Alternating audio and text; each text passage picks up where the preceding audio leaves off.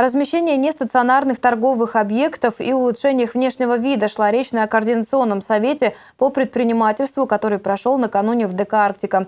В обсуждении принимали участие представители администрации города и поселка Искателей, бизнес-сообщества и другие заинтересованные лица.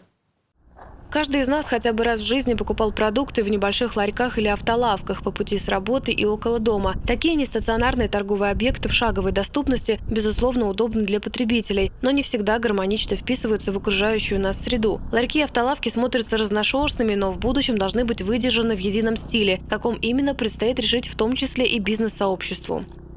Работать над этим надо, поэтому в связи вот с тем, что полномочия по земле, по строительству, по архитектуре и вот по поддержке предпринимательства, в частности нестационарная торговля, находятся в разных руках, поэтому только совместными усилиями, с вашей помощью, потому что без оценки регулирующего воздействия и вашего мнения по каждому э, принимаемому решению либо документу нам, конечно, не обойтись тем, что нестационарные торговые объекты давно пора привести к единому виду, согласен и представитель от администрации поселка Искателей.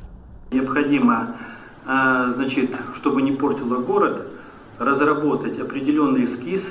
И я думаю, что лучше всего, если это будут павильоны, потому что зимой, особенно в нашем климате, когда человек зайдет, павильон и может спокойно выбрать любой товар. Поэтому, да, не замерзая. По словам Елены Сочневой, переход на новый формат нестационарных объектов и установление требований к ним должен быть поэтапным.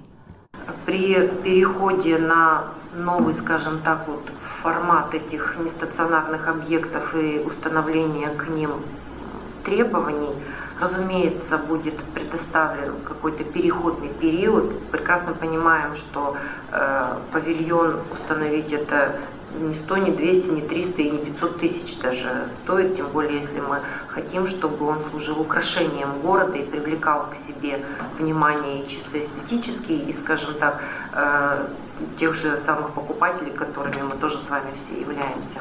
Типовые решения мы сейчас включаем разработать тем, чтобы было как-то вот единое, единое единообразие а, вот даже не стационарных торговых объектов, все было красиво.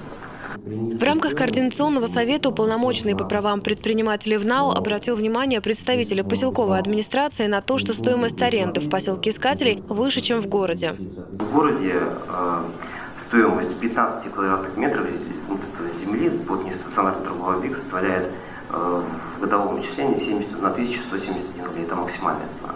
В искателях, э, тоже в центре, в самом месте, где такой высокий коэффициент, э, 76 907 тысяч рублей. Вот, э, в Кашгарте в городе, опять же, 27 1373 рубля за 15 квадратных метров, а на факеле э, в поселке 57 680. По словам Германа Сопочкина, поселковой администрации необходимо пересмотреть методику расчета и привести ее в соответствие с городом. Добавлю, что в настоящее время в схему размещения нестационарных торговых объектов на территории города включено 45 мест по 25 адресам. Еще три земельных участка на 17 мест находятся на территории поселка Искателей. Ирина Никешина, Дмитрий Лукевич, телеканал «Север».